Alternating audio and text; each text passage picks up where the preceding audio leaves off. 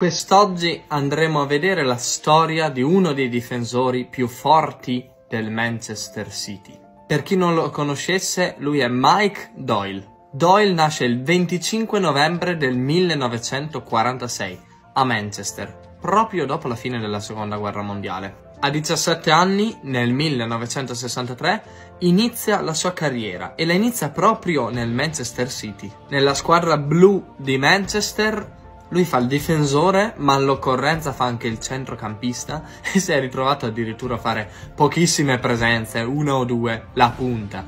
Però oltre ad avere un cambio di ruoli in base alle partite ha avuto un cambio drastico nella sua carriera perché è passato da essere un semplice giocatore del Manchester City ad essere il capitano di quello che prima del 2010 è stato il periodo più vincente e il miglior periodo della storia del club. Doyle totalizza